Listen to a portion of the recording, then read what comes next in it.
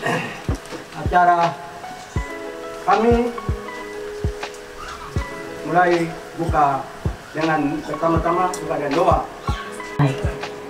Ya Allah Bapa kami di dalam kerajaan surga di siang hari ini juga para narasumber bersama dengan ketua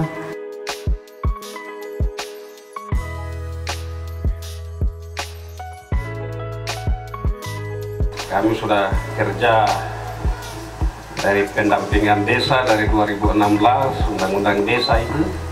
Undang-undang desa itu lahir kita ikut bergerak terlibat untuk mengesahkan. Waktu itu orang bilang ah masa kampung bisa nanti jadi begitu? Dan akhirnya berhasil.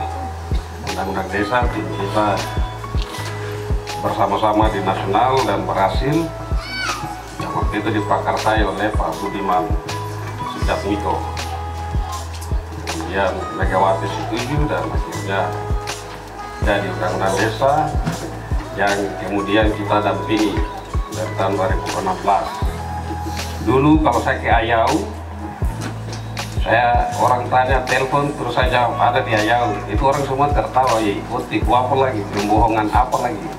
Padahal itu internet pertama kita uji coba itu di Ayau di Dorekar dan di Engkanfan terus di Saunek ada satu untuk Bundes dan Jembuba untuk para wisata waktu itu BTS-BTS belum ada internet belum ada sehingga kita menggunakan visa.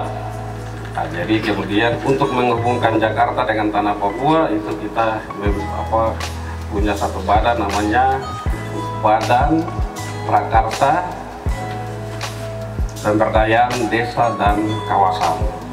Dan kita sudah kerja dari tahun 2016 setiap waktu setiap tahun bagaimana desa-desa atau masyarakat kampung terhubung langsung ke nasional bisa olah sumber daya manusia apa alamnya bisa kembangkan ilmunya bisa berhubungan dengan guru cepat dengan dokter cepat itu internet masuk desa. Tapi Facebooknya namanya asli. Tanggal lahirnya asli. Alamatnya asli. Apa bedanya dengan ngasih KTP kan? Jangan sampai hal-hal itu terjadi. KTP aja kita gak mau ngasih. Apalagi data-data pribadi kita. Kenapa? itu sangat berbahaya. Jangan sampai orang lain menggunakan data kita untuk kejahatan. Saat data kita dipakai oleh orang lain kemudian data kita dipakai untuk menipu itu bisa terjadi sudah terjadi sudah terjadi ada korban pak bulan lalu kalau tidak salah baru diluncurkan oleh Kominfo. Nah satelit inilah yang kemudian karena BTS-nya sudah dibangun, satelit inilah yang nantinya fungsinya adalah untuk menambah uh, kapasitas, bahasanya kapasitas bandwidth dari masing-masing uh, BTS. Yang yang dibangun sekarang memang kapasitasnya hanya uh, 2 Mbps atau 2 MB. Artinya itu kalau dipakai orang nonton YouTube ya memang langsung kendor ya